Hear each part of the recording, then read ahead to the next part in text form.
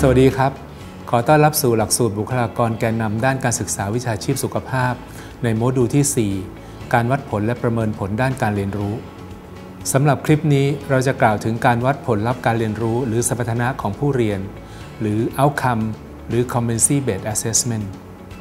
ก่อนอื่น ขอทำความเข้าใจกับคำว่า competency หรือสมรรถนะก่อน มันคือความสามารถในการที่ทำสิ่งใดสิ่งหนึ่งได้ เป็นความสามารถที่บูรณาการทั้งความรู้ ทักษะและเจตคติ เป็นสิ่งที่สามารถสังเกตและวัดได้อย่างเป็นรูปธรรม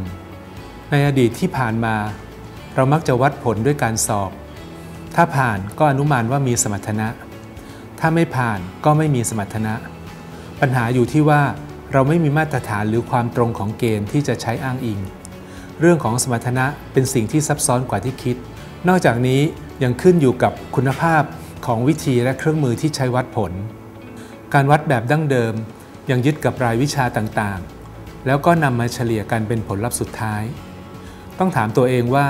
เราได้วัด outcome หรือ competency ได้จริงหรือไม่ การวัดผลลัพธ์การเรียนรู้หรือสมรรถนะของผู้เรียน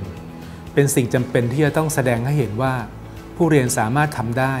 หรือมีคุณลักษณะที่พึงประสงค์ได้จริง เมื่อสิ้นสุดประสบการณ์การเรียนรู้ ซึ่งจริง ๆ แล้ว ก็เช่นเดียวกับหลักของการวัดผลทั่วไป คือต้องเก็บข้อมูลหรือหลักฐานอย่างต่อเนื่อง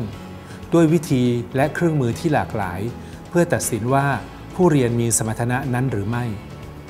ถ้าพิจารณาสมรรถนะตามมิเลอร์พีระมิด การวัดสมรรถนะหรือ competency ก็คือการวัดในระดับ shows แต่ถ้าจะวัด performance หรือ DAS ก็ต้องวัดการปฏิบัติในสถานการณ์จริง สิ่งที่ต้องคำนึงในการวัดสมรรถนะของผู้เรียนได้แก่ การวัดที่แยกส่วน จึงทำให้ไม่เห็นสมรรถนะในภาพรวม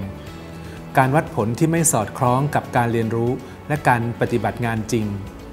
การรวมคะแนนที่แยกส่วน ไม่ได้สะท้อนสมรรถนะของผู้เรียน เครื่องมืออย่างใดอย่างหนึ่ง คงไม่ใช่คำตอบในการวัดผล เนื่องจากเครื่องมือแต่ละชนิดก็มีข้อจำกัดในตัวของมันเอง ลักษณะที่สำคัญของการประเมินผลลัพธ์การเรียนรู้ หรือสมรรถนะของผู้เรียน ประกอบด้วย การนั่งอิงเกณฑ์หรือมาตรฐานที่กำหนดไว้ การเก็บข้อมูลหรือหลักฐานการเรียนรู้ของผู้เรียน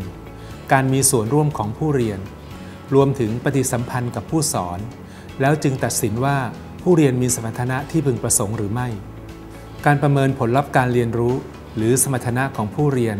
จะมีความตรงและเชื่อถือได้ จะต้องประเมินในสถานการณ์จริงทำหลายครั้งอย่างต่อเนื่อง เพื่อให้มั่นใจและผลที่ได้คงเส้นคงวา ทั้งในลักษณะของการประเมินความก้าวหน้า หรือ formative assessment และการประเมินรวบยอด หรือ summative assessment การประเมินสมรรถนะของผู้เรียน ควรมีการวางแผนอย่างเป็นระบบเพื่อให้มีประสิทธิผล โดยครอบคลุมตั้งแต่ให้ผู้เรียนประเมินตนเองหรือสะท้อนคิด ผู้สอนเป็นผู้ประเมิน ในลักษณะของ formative assessment และให้ข้อมูลป้อนกลับ เพื่อวางแผนในการพัฒนาหรือช่วยเหลือผู้เรียน ผู้เรียนได้ปฏิบัติงานในสถานการณ์จริง และมีการประเมินซ้ำอย่างต่อเนื่อง สุดท้ายก็เป็นการประเมินรวบยอดว่า ผู้เรียนมีสมรรถนะตามมาตรฐาน หรือเกณฑ์ที่กำหนดไว้หรือไม่ การวัดผลสมรรถนะของผู้เรียนมี 2 วิธีคือ direct method เป็นวิธีหลัก จากการสังเกตการปฏิบัติงานของผู้เรียนโดยตรง อาจในสถานการณ์จริง หรือสถานการณ์จำลอง หรืออาจประเมินจากชิ้นงานของผู้เรียน อีกวิธีคือ indirect method เป็นการประเมินทางอ้อม ไม่ได้เห็นการปฏิบัติงานโดยตรง แต่ได้จากความเห็นหรือรายงานที่เกี่ยวกับการเรียนรู้ของผู้เรียน การประเมินควรจะใช้ทั้ง 2 วิธี โดย direct method ร่วมกับวิธีที่เป็น indirect method อีกอย่างหนึ่ง อาจใช้รูบริก หรือเกณฑ์การให้คะแนนเป็นเครื่องมือในการสังเกต วิธีการวัดหรือประเมินสมรรถนะของผู้เรียน อาจแบ่งได้เป็น 4 กลุ่มได้แก่ กลุ่มแรกเป็นการประเมินขณะที่ผู้เรียนปฏิบัติงานอยู่ หรือ on the job assessment ในลักษณะของ workplace based assessment กลุ่มที่ 2 เป็น off the job assessment เป็น indirect method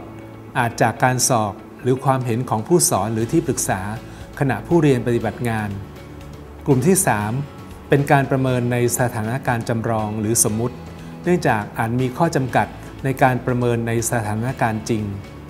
และกลุ่มที่ 4 เป็น recognition of prior learning เป็นวิธีที่แสดงให้รู้ว่า ผู้เรียนได้เรียนรู้อะไรบ้าง โดยการนำเสนอหลักฐานของการปฏิบัติงาน พัฒนาความรู้หรือทักษะที่เหมาะสม ถ้าลองพิจารณาการพัฒนาสมรรถนะเป็น 2 มิติ คือมิติของสมรรถนะ และมิติของการรับรู้ อาจเริ่มจากไม่รู้ตัวว่าทำไม่ได้ ขั้นนี้ยังไม่มี awareness ไปสู่ขั้นที่เริ่มมี awareness รู้ตัวว่าทำได้ เกิดการเรียนรู้และพัฒนาจนรู้ตัวว่าทำได้ จนถึงระดับที่ไม่รู้ตัวว่าทำได้ โดยสรุป การตัดสินผลการประเมินผลลัพธ์การเรียนรู้ หรือสมรรถนะของผู้เรียน จะต้องอยู่บนพื้นฐานของการอ้างอิงเกณฑ์ หรือมาตรฐานที่กำหนดไว้ การสังเกตจากการปฏิบัติงานของผู้เรียน ไม่ว่าในสถานการณ์จริง หรือสถานการณ์จำลองโดยผู้ประเมินที่มีประสบการณ์